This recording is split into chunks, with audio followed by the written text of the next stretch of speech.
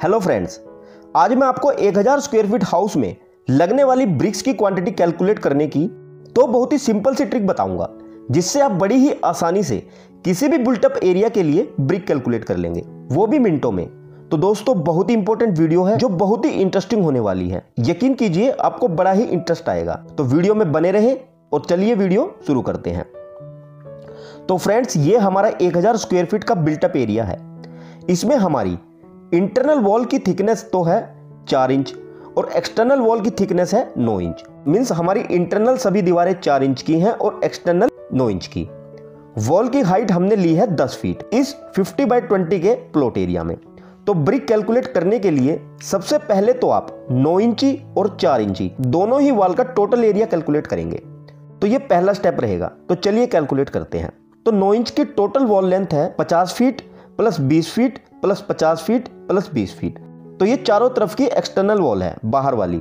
और ये लेंथ हो गई हमारी 140 फीट वॉल की हाइट हमने ली है 10 फीट तो 9 इंच वॉल का टोटल एरिया हो जाएगा 140 feet total length of wall into 10 feet height of wall तो टोटल एरिया हो गया हमारा 9 इंच वॉल का 1400 स्क्वायर फीट अब ट्रिक ये है कि बस आप सिंपली इस एरिया को 10 से मल्टीप्लाई कर देंगे 9 इंच वॉल के लिए। ये ध्यान रखना।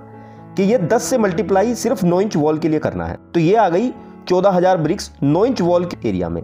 तो ये तो है 9 इंच वॉल की ब्रिक क्वांटिटी अब 4 इंच वॉल की टोटल लेंथ कैलकुलेट करेंगे।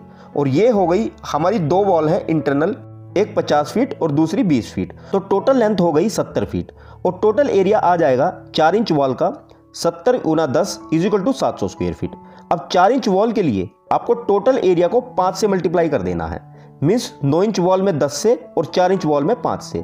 तो टोटल ब्रिक्स की क्वांटिटी आ जाएगी।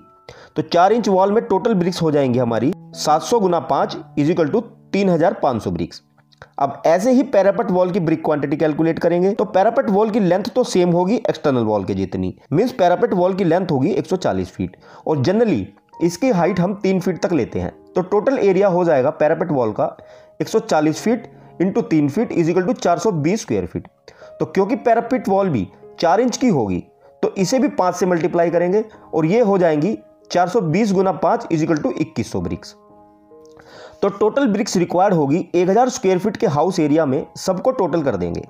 9 inch wall plus 4 inch wall plus parapet wall. तो ये हो गई 14000 plus 3500 plus 2100 is equal to 19600 number of bricks अब दोस्तों मैं आपको बता दूँ कि 10 और 5 से मल्टीप्लाई करने का रीज़न क्या है? कि 9 इंच वॉल में एक स्क्वायर फीट में हमारी 10 ब्रिक्स आती हैं और 4 इंच वॉल में 5 पर स्क्वायर फीट तो बस इसलिए हमने इन्हें 10 और 5 से मल्टीप्लाई किया है। एक बात और, इससे आपकी एग्जैक्ट तो नहीं, पर 95 परसेंट क्वांटिटी करेक्ट कैलकुलेट होगी, जिससे आप एक अप्रोक्सीमेट एस्टिमेट आसानी से लगा सकते हैं अपनी क्वांटिटी कैलकुलेट करने के लिए। तो आई होप कि अब आप इसे अच्छे से समझ गए होंगे।